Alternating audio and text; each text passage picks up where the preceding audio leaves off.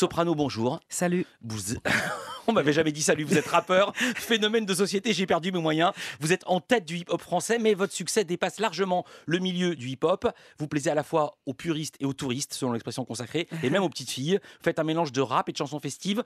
Vous avez appelé ça Euh, pop urbaine, j'avais appelé ça. variété urbaine, j'ai même entendu Bah, une fois. ah, oui, il y a des- Triple ou ça. quadruple disque de platine avec votre dernier album qui s'appelle L'Everest, 400 000 exemplaires vendus. Vous êtes également la personnalité, j'ai découvert ça, c'est un sondage Ipsos de mars dernier. Personnalité préférée des 7-14 ans. Ouais, c'est important pour vous, ça vous fait rigoler, ça vous fait quoi? Ah ben, ça me fait un peu rire, mais, mais c'est cool, c'est cool parce que mes enfants ils sont super contents, même moi aussi.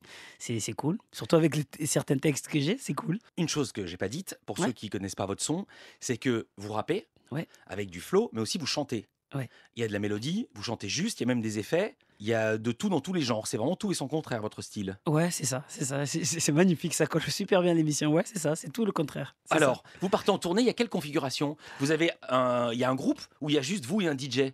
Alors il y a un DJ, moi, mes deux frères qui sont sur scène avec moi. Ah, ils ont le micro, Euh, chacun un ils micro. ont le micro, ils sont avec moi, ils bougent. Et on a un musicien euh, multi-instrumentaliste, on va dire. Ça veut dire il fait guitare, euh, batterie, piano. ça. Alors, c'est une tournée absolument monstrueuse. Nantes, Clermont-Ferrand, Montbéliard, Genève, Grenoble, Bruxelles, Bourges, Le Mans, Le Havre, Lorient, Brest, Agen, Angoulême, Nancy, Beauvais, Douai, Saint-Omer, Albertville, Mâcon, Aurillac, Ajaccio, Saint-Denis, Bobital, je sais pas où c'est.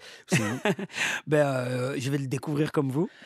Montélimar, Albi, La Rochelle, Le Puy-en-Velay, Béziers, Bayonne, Brive, Vienne. J'ai pas fini. Le Mans, Châteauroux, Nantes encore, Toulouse, Mâcon, Grenoble, Paris. Et alors, Marseille. Ça sera le 7 octobre au nouveau stade Vélodrome. Oui. Pourquoi c'est si important à vos yeux? Déjà, je suis Marseillais, c'est ma ville, mon stade par rapport à- au foot, bien sûr. Ouais. Mais c'est surtout aussi, c'est là-bas où j'ai fait mon premier clip.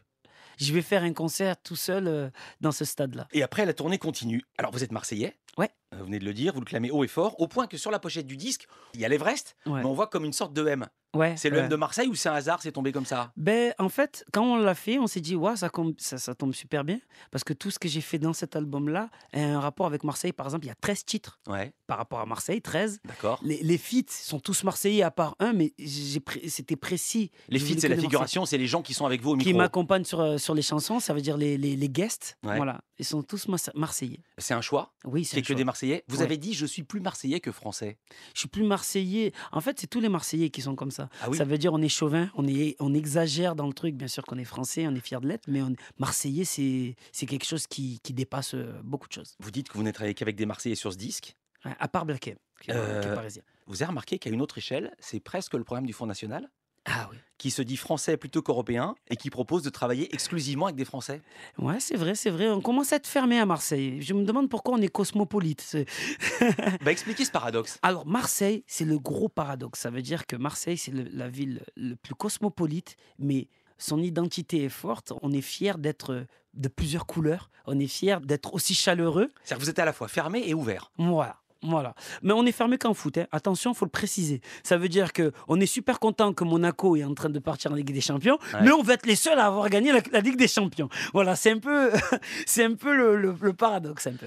Vous dites une phrase terrible euh, sur les quartiers nord. C'était dans Le Monde que vous l'avez dite. Vous dites il faut sans cesse rappeler que 90% des jeunes des quartiers nord ne sont pas des vendeurs de drogue. Mais oui. Et ça m'a fait froid dans le dos parce que je me dis mais ça veut dire que 10% sont des vendeurs de drogue. C'est impossible. Mais non, c'est impossible. Après, bien sûr, c'est c'est une métaphore pour expliquer parce que beaucoup de gens croient que, pas 90, croient- euh, les gens ils croient que tous les jeunes des quartiers c'est des vendeurs de drogue. Ouais. Tu vois ce que je veux te Non, Il y a dire? des acheteurs aussi. Il y, a, il y a des acheteurs et, et souvent les acheteurs, ce ne sont pas, des- pas que des jeunes des quartiers. C'est souvent des gens qui sont très aisés. Mais, mais c'est vrai que c'est un cliché, mais, euh, mais les- gens, même moi, me voient avec une casquette, on se dit dans, dans, dans la tête, sûrement, lui, il a déjà vendu un peu de drogue ou il a déjà volé ou il a déjà fait... Alors que je n'ai jamais fait tout ça. Moi, je suis un jeune des quartiers qui aime beaucoup la musique et qui s'est battu pour casser justement ces clichés-là. Soprano avec nous sur France Info. On se retrouve tout à l'heure valeur